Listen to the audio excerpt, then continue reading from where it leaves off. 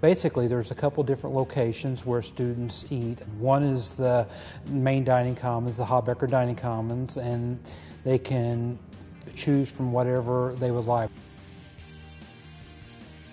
The hub is basically it's open from 9 to 3 Monday through Friday and then from 6 to midnight all week long. A place where students can just grab grab a meal exchange and take off and go to their room. They also have the ability to go off campus and use some of their flex dollars that come with a particular meal plan. They can go to Richard's restaurant here in town, or they can go to Coffee Divine, which is a local coffee shop, or they can go, actually, they can spend some of those at the snack bar, or they can even spend some at the bookstore as well, and, and Pizza Hut.